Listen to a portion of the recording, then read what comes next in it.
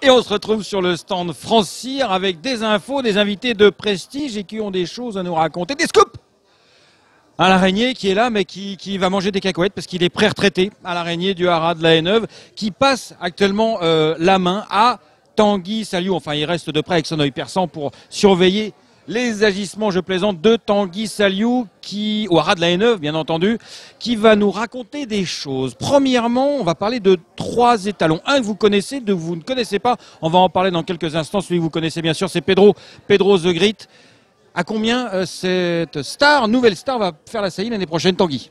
Alors, euh, Pedro Zegret va officier à 6 000 euros l'année prochaine, en 2000, euh, 2018. Euh, il y a une forte demande. euh, il a fait 21 gagnants euh, au jour d'aujourd'hui. C'est pas fini pour la pour l'année. Il y a beaucoup d'engouement pour le cheval et donc nous avons décidé de le faire saillir à 6 000 euros.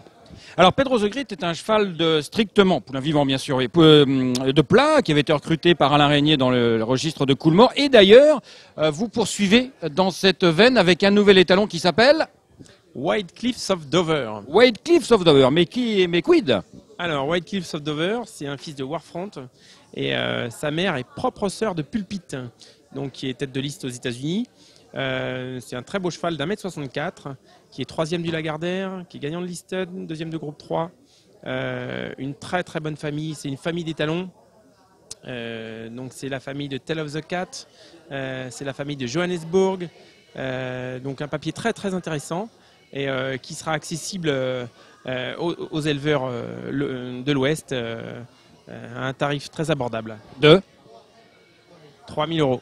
3000 euros, il parle sous la surveillance du chef, bien sûr, à l'araignée qui a, depuis longtemps, avec Emmanuel Le a euh, évidemment cherché des, des- des étalons, notamment dans le registre américain, avec le succès que l'on connaît, Pedro, et donc White Cliffs of Dover. Et un deuxième étalon. Alors, dans un registre d'obstacles. Enfin, d'obstacles, plat ou obstacle, plat, euh, plat. Qu'est-ce qu'on va dire sur Magnetic Jim. Alors Magnetic Jim, euh, donc c'est un cheval qu'on vient de rentrer. Euh, c'est un fils de Galiléo et euh, la mère, euh, elle est bien connue des Français. Elle s'appelle Di Benoise. C'est un frère de Rassinger, Correcaminos, Récital. Euh, c'est un cheval qui a un, un parcours un petit peu original. Il a gagné sur 1600 mètres à Saint-Cloud. Euh, et hum, il a également euh, gagné à Auteuil et il est black type à Auteuil. Il est troisième de listade à Auteuil. C'est un magnifique cheval qui fait 1m67 qui est gris qui est gris, euh, ce qui n'empêche rien. Et euh, donc, euh, très beau cheval avec du potentiel. On l'a syndiqué en 8 jours. Euh, donc, euh, ça, ça s'est très bien passé. Il y a un très bon, euh, très bon écho des éleveurs. C'est un cheval qui va travailler. Il sera disponible au tarif de 1800 euros, poulain vivant.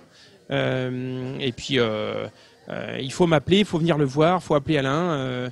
Y a, on est ouvert à tout et, euh, et puis, puis, puis ça va aller. hein. Ça va aller, ça va aller. Bien sûr, le haras de la Haie-Neuve, donc avec un nouveau souffle et donc un étalon qu'on connaît très bien, Pedro The et deux nouveaux étalons, je vous rappelle les noms, White Cliff of Dover et Magnetic Jim.